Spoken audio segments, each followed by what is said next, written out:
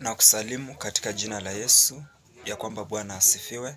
Kwa hivyo ningependa tukaweze kujadiliana katika neno la Mungu, nikaweze kukuhubiria na ya kwamba naomba Mungu tunapoanza katika somo hili, wacha roho wake mtakatifu akaweze kuniongoza. Kwa hivyo ningependa tuamini napoenda kuomba.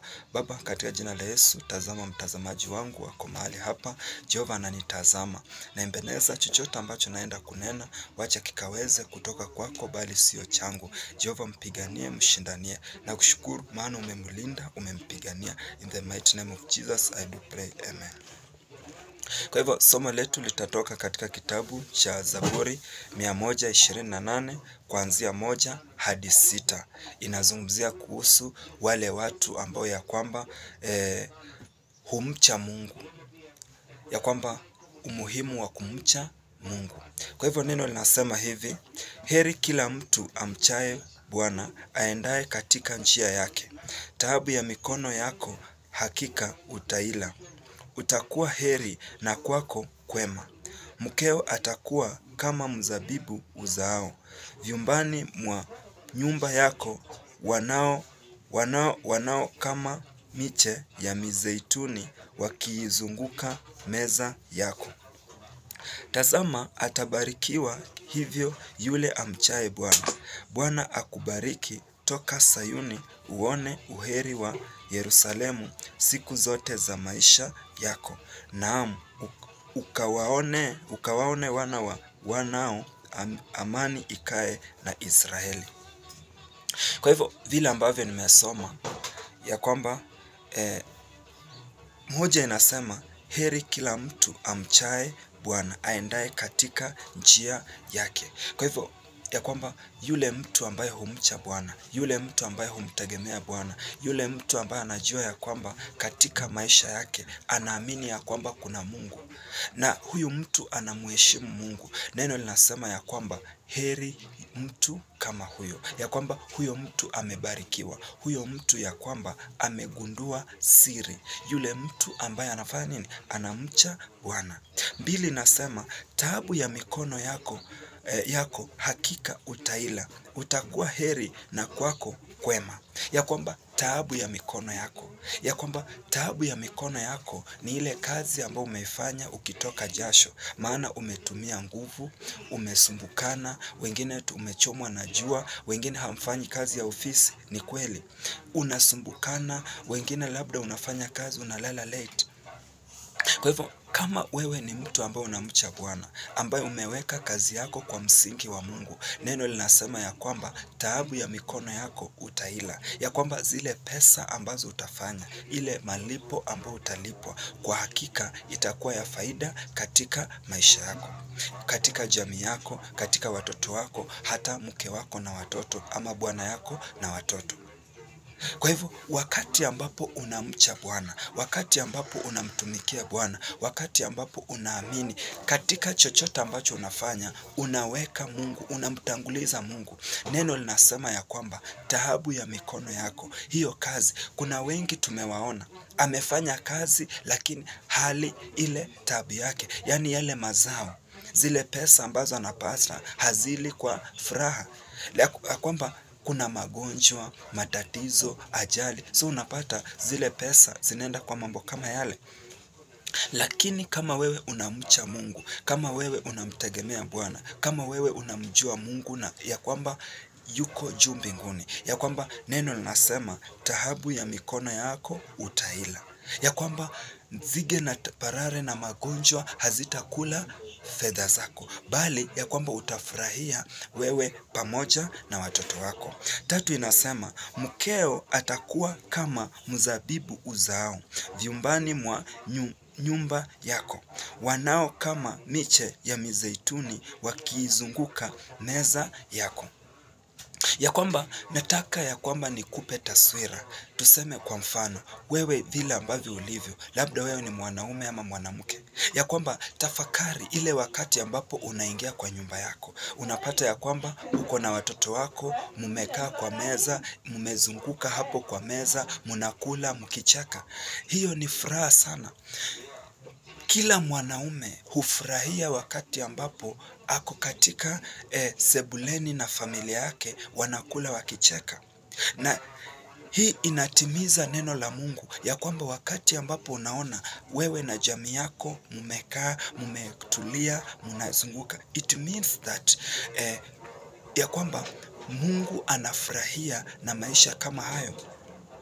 Kwa hivyo neno linasema pale tatu ya kwamba mkeo atakuwa kama mzabibu uzao vyumbani mwa nyumba yako, wanao kama miche ya mizeituni wakiizunguka meza yako. Kwa hivyo watoto wako watabarikiwa, wewe utabarikiwa, familia yako itakubari, itabarikiwa, ila tu umche Mungu umwabudu. Hata yeye anasema katika sheria zake ya kwamba the ten commandments, ya kwamba msiwe na miungu mingine ila mimi. Nani anasema? Ni Mungu, na anazidi kusema ya kwamba yeye ni Mungu mwenye wivu. So we are serving a jealous God. Na wakati ambapo tunazungumzia kumcha Mungu inamaanisha ya kwamba we stick to the commandment, ya kwamba tuweze kufuata ile sheria ambayo alitupa.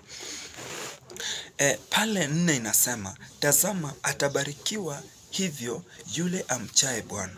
Bwana akubariki toka Sayuni uone uheri wa Yerusalemu siku zote za maisha yako. Kwa hivyo ukiwa mtu wa kumcha Mungu, ukiwa mtu ambaye unampenda Mungu, ya kwamba kazi ya Mungu unaipenda, unapenda eh, kushughulikia kazi ya Mungu nini, ya kwa, na kuhakikishia ya kwamba taabu ya mikono yako utaila, wewe utabarikiwa, utaitwa mbarikiwa, utaitwa mshindi. Ya, yani watu watajaribu hata maadui watajaribu vile ambavyo watakutega, hawatakuweza.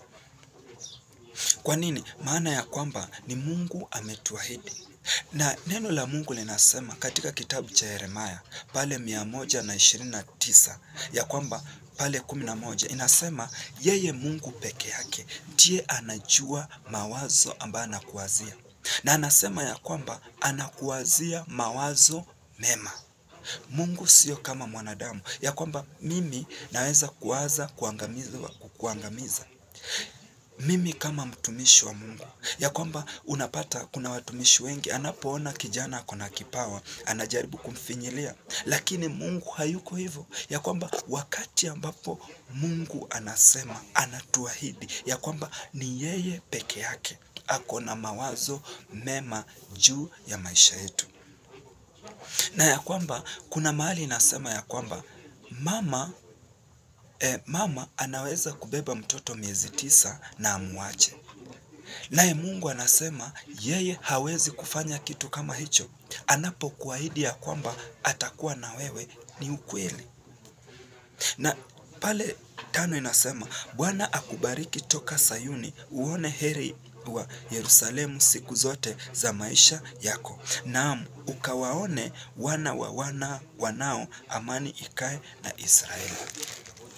Ya kwamba ukiwa mchu, mtu wa kumcha Mungu utaishi miaka mingi, maana imesema uone wana wa wanao, wajukuu, vitukuu, vilembekezi utaviona. Why? Because you are a person who serves God, mtu ambaye humcha Bwana, ya kwamba hakuna siku ambaye Mungu atakuacha, hakuna siku ya kwamba utaingia kwa ajali, hakuna siku ya kwamba utapotea, hakuna siku ya kwamba utafika upate ya kwamba maisha inaenda hivi. Hapana, ya kwamba ndio tuna mtu kama Ayubu. Ayubu alikuwa mcha Mungu, Mungu akambariki akawa na mali akawa na nini. Wengi wanasema oh, mtu akiwa ameokoka anapata matatizo, alafu anapeana mfano wa Ayubu.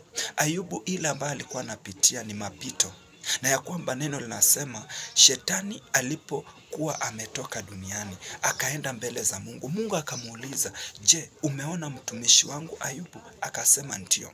Then the Lord Mungu akatoa ushuhuda akatoa ushuhuda vile ambavyo Ayubu anakaa naye, lakini shetani akachochea akamwambia ya kwamba huu jamaa anafanya hivyo kwa sababu umemridhisha na kila kitu. So God gave a permission to Satan so that he can go and tempt Ayubu. So ilikuwa kujaribiwa na ilikuwa ni mapito. So mimi huwa nashangaa na Wakristo ambao ya kwamba mwaka nenda miaka nenda, you still have matatizo kila wakati unasumbukana, hauna hata chakula nini. So inamaanisha kuna shida mahali and you must eh, go down and study your life. Ujiulize ni wapi ambapo nilikosea, ya kwamba ukiwa mtu ambao unamtegemea Mungu na unamtegemea na unamu unamwabudu kwa haki na ukweli, utakuwa unapitia tu mapito lakini hauwezi sumbukana kwa miaka yote. So vile ambavyo neno limetuahidi ya kwamba heri mtu ambaye anamcha Bwana, anamcha kwa haki na ukweli. Wacha wale watu ambao wanajifanya oh, nimeokoka nini, akiwa peke yake anafanya maovu. Hapana, you are a person who have self discipline. Hata kama uko peke yako unakaa maisha ya utakatifu, hata kama wale watu ambao hawakujui hawako penye huko, you, you, you, you remain holy. Huyo ndio mtu ambaye Mungu anamhitaji. Huyo ndio mtu ambaye Mungu anasema ya kwamba watoto wake watakuwa heri, familia yake itakuwa heri, ya kwamba utabarikiwa uta uzao wako na hata utaishi miaka mingi. Kwa hivyo kila ambacho nakuuliza mtazamaji wangu, mimi nakupenda, wewe unanipenda, naamini ya kwamba upendo wa Yesu ukadumu miongoni mwetu, lakini kila ambacho nakuomba ya kwamba unanitazama na haujaokoka, ya kwamba jaribu uweke uwe utafute nafasi katika moyo wako ambao Yesu ataweza kukaa ndani.